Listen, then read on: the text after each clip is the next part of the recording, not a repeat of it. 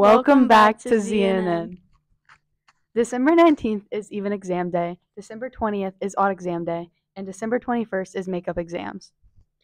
Christmas break starts December 21st to January 2nd. The students return January 3rd. Unless you miss a midterm, your break will start the 22nd. Performing Arts and Theater fundraiser Spaghetti Dinner is December 13th. Each organization within the school is putting together a themed Christmas tree. It's going to work like a silent auction. There will be bidding sheets by the Christmas trees for you to put your bid on. Bidding sheets will start December 6th and they will close at halftime at the boys' basketball game on December 22nd. All of the proceeds are a donation to each individual organization. Last week's birthdays are December 3rd, Chloe Michael, December 4th, Mariah again, December 5th, Jaden Rosser, December 6th, Brooklyn Van Fossen, and December 9th, Donna Ray. This week's birthdays are December 11th, Kale Miller, December 12th, Stacy Lori, December 13th, Michael Wickham, December 14th, Peyton Stewart, December 15th, Danica McCauley, and December 16th, Dar Baker. Happy birthday. So, I am here with, Chris Estat, and what do you teach? business Okay. Um, and how long have you been a teacher? since August of this year. Um, where do you see yourself in five years? Right here, except uh, hopefully not with lunch A. Um, so what is your favorite color Blue. and your favorite food? Seafood. Like lobster, salmon. I, I particularly like salmon with a like a crusted pistachio crust Mhm. on it. Yeah, I like that. Um, scallops, shrimp. I love scallops. And then I like sushi, but I only eat sushi as long as like it's got to be in the coast. It can't be sushi from the, you know, Ohio Mhm. sushi. Not good. Do you play or coach any sports? Well, I don't play cross country, but I do coach cross country. I like to run. I did do sports in high school football, wrestling, track. I like outdoor sports. I hunt, fish, cut trees down, cut trees down. Hmm. That's a good question. Can you give us a fit check? Uh, fit check, like like my shirt, like push ups. What do you want? Whatever. I don't know. We'll do push ups. Okay.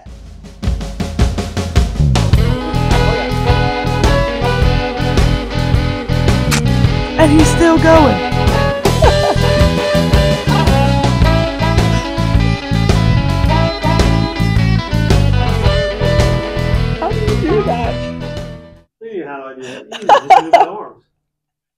I to keep going. I need to do one arm.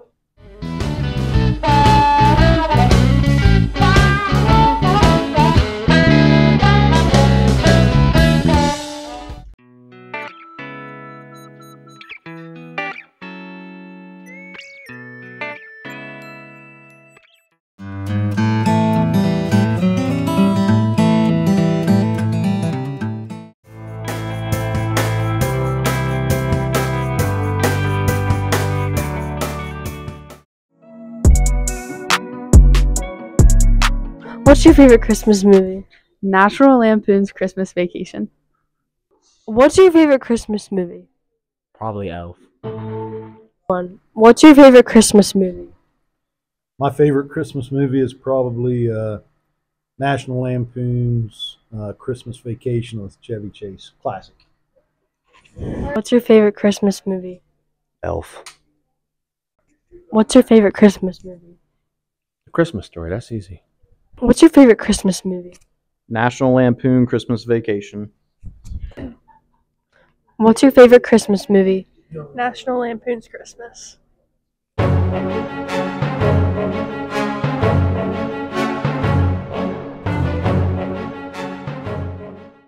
I'm Lane Robinson. I'm a junior and I'm the farm manager at Green Acres.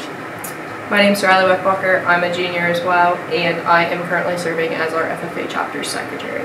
We were practicing parley for our district parley competition and during the day we went and checked the cows and we noticed Lucy was getting ready to have a calf so we brought her in the barn and so we decided to go check her after parley and we noticed that his feet was hanging out of her. So we just hung around the farm. We went in the classroom and watched it live, and like it was very it was a very cool experience because we were in the classroom watching it, and we could just go walk like 50 feet and go see the newborn calf.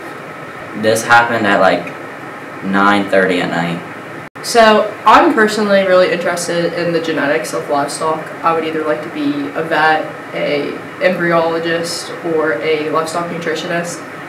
And with that being said, there is a lot of biology behind this. So a lot of you guys have sat through Nellie's biology class and you do the Punnett squares and you learn about the genetics and recessive traits and dominant traits. So with Robert being a crossbreed, his mom's an Angus, so he expresses the black trait from the Angus cow, and then he he also has the white on him, which would be a co-dominant trait with the black, because that comes from his Hereford, and Herefords are red and white. So he expresses the black from his mother, and the white from his father. So, really, I'm as fa- the farm manager. I've done a lot of hands-on stuff, and it's like helped me choose my career choice, which is going to be an ag teacher. So I want to be an ag teacher here at Green Acres, and so like I want to teach the kids about how artificial insemination, the embryos, and the natural service. So it helped me learn more about like how I want to teach the kids about it. This actually fits really well into the design cycle. So this cow, she was first bred using artificial insemination, which you don't have quite the same, you don't have the best probability of them catching as you do with a natural breeding. So whenever she was bred with artificial insemination, she didn't catch. And we needed to get our cows bred, that way they would be having them about this time. And so we used a bull instead to solve that issue, and that worked. And that's how we got Robert. Robert is a bull calf. He is a crossbred Hereford Angus. So like for me, I live on a farm, so I like I've seen cows calves being born, but like we had other people there, such as Skylar Rich, and she's never seen a calf being born. So she was like very surprised.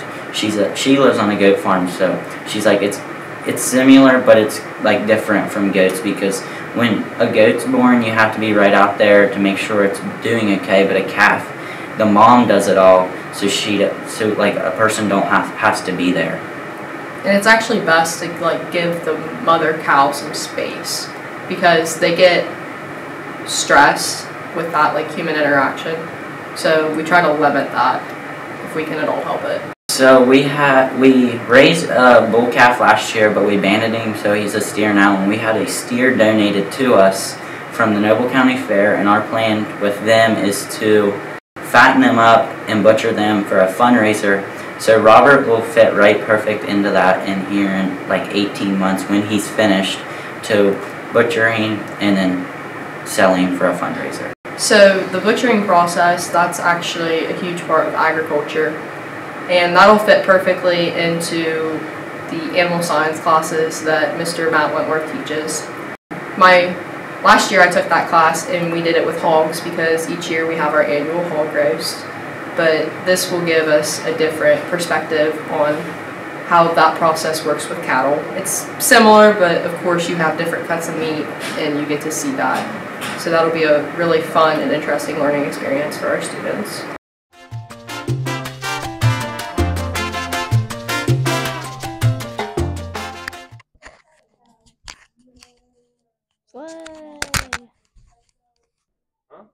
Go.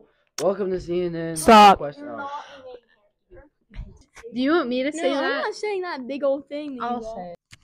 Meow, meow, meow, meow, meow. We're professionals.